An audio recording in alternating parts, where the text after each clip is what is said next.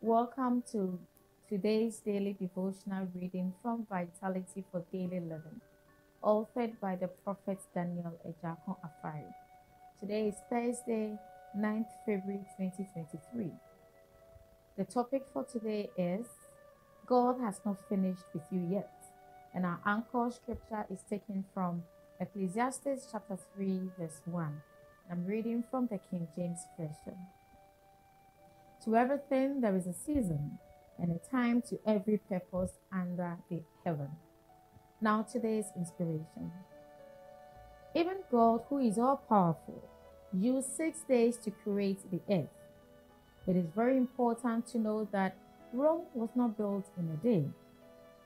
But the fruit of the Spirit is love, joy, peace, patience, kindness, goodness, faithfulness, gentleness, and self control.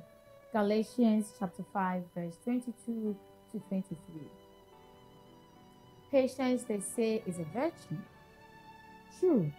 In today's world, the microwave generation, as I call it, people are always pushing to get so many things swiftly. For example, many of the youth are in a rush to own luxury cars, estates, and even women. I believe in them. They are all good.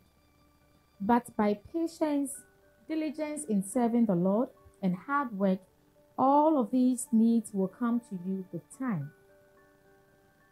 Seek first the kingdom of God and its righteousness, and all the other things will be given to you.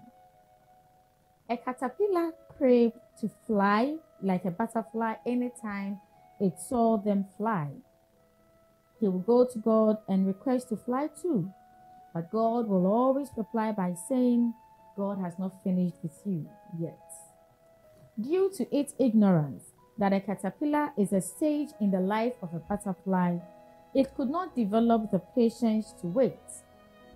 It sometimes invents its own wings and tries to fly, but it will fail, fall, and get hurt. This happened for a time until when the right time came. It fell asleep, and by the time it woke up, it broke off its cover only to discover it could fly. In God's appointed time, He will make all things beautiful, and I tell you, He will surely make your life a wonder. Just learn to be patient and wait upon the Lord. Let us pray. Everlasting Father, you know the end of a matter from the beginning thereof. Help me to develop patience by your Holy Spirit and never let me miss out on my set times and season in Jesus' name. Amen. To read the Bible in one year. For today, please read Leviticus chapter 7 to chapter 9 and Matthew chapter 25, verse 31 to 46.